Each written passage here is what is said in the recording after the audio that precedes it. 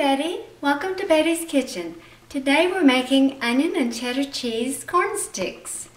Uh, I've made southern cornbread sticks for you before and since today I'm making uh, sort of a New Year's uh, dinner using uh, Hoppin' John as our good luck charm for the year, I thought that corn sticks would get, be good with it, but I didn't want to repeat the same ones I'd done before. So I'm adding onion and cheddar cheese into them for extra flavor. So we'll start with the onion. Uh, I have a little skillet here and I have put one tablespoon of butter in that skillet and melted it. And so I'm going to add one fourth cup chopped onion. It's just a regular white onion. And we're going to saute that until the onion is clear. So I'll be back to continue on this recipe in just a minute. We're going to continue with our onion and cheddar cheese corn sticks. We have our onion sauteed, so as we go down the line, you'll get you'll see that in just a minute.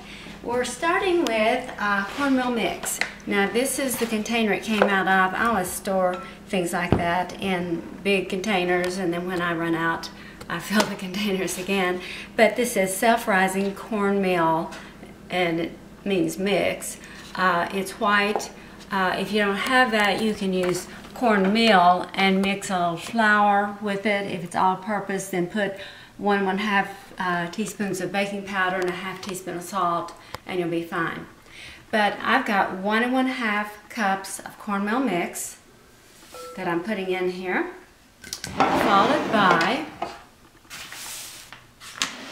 self-rising flour, one cup of self-rising flour. Now next is going to be some milk. I use skim milk. This is one and one quarter cups of skim milk. I'll be mixing that around in just a minute. And we need one egg or two eggs. It's pretty big. I think I'll put two eggs in this time. That's variable. It's just up to you. So here's one egg and the second egg. So typically, if I were just making cornbread or corn sticks, uh, this is what it would be. I would stir this up, I would pour it into a hot, greased pan and bake it in the oven, and it would be delicious. But uh, since I've already done something like that for you, we're going to spice this up a little bit. We're going to put in some onion, which is caramelized, we sauteed it even beyond the point of it being clear. It's a little bit brown, but that's just going to give some nice flavor. But you don't want to put that in until you get this mixed up. And you don't have to beat it uh, with a mixer. And you may uh, be wondering, oh, what if there are streaks of um, egg white and streaks of egg yolk? That's all right. I do that all the time. It doesn't really matter at all. Just try to get the lumps out and it will be a batter that looks something like that. That looks pretty good. All right, I'm going to um, bring over the little saucepan I showed you earlier that had one-fourth cup of chopped onions that we had sauteed in one tablespoon of butter.